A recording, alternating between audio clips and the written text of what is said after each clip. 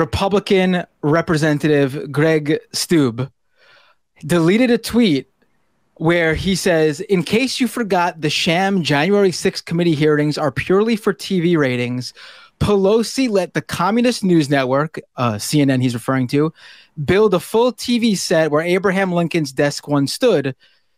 The congressman thinks that the TV screen behind the CNN anchors is actually the real floor of Oh my god, the cat! I just don't even know what to say. This is the hell most hilarious thing. what that that is somebody with um maybe not more than two brain cells to rub together. Might be on. I might take the under on that one. The, the, guy who, by the way, in the gun violence hearings was the one at his house, just like brandishing like four or five of his personal weapons, lovely, like, locking and loading them.